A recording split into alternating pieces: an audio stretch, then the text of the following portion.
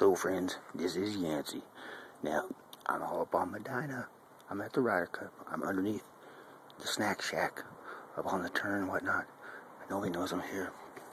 Look at all this crazy stuff down here. Now, can't really see nothing yet, but I'm tunneling my way forward. Some strange weird stuff down here. Spider webs and whatnot. Whoa. Okay, but I'm gonna get up to that snack shack and get a grilled cheese and then paranormal hunt begins. Got a couple texts last night. Something's going on. Okay, I got movement. I'm out.